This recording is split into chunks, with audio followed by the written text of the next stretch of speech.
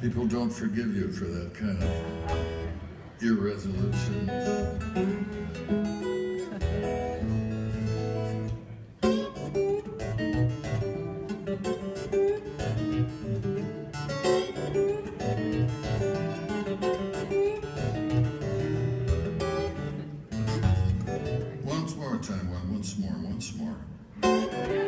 can do this. I can stop if I want to.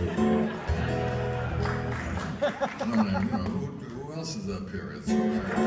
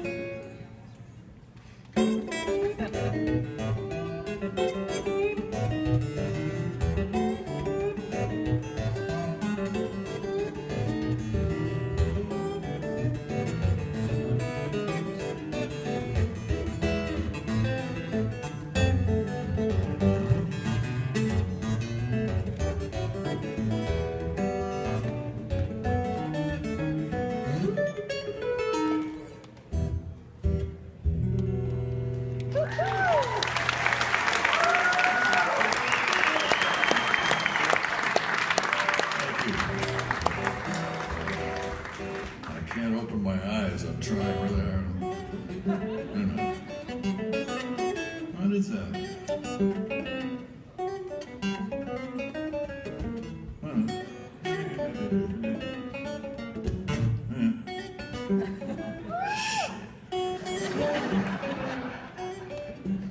Ah,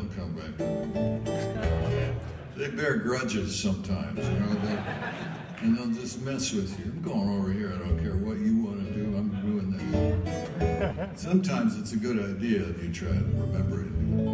And then, as you're busy trying to remember what your hand just did, you forget what you're doing at the moment. You know, it's that's in the past. You're in the present, and the present has just escaped you because you returned to a few seconds ago when something really nice happened and you had nothing to do with it.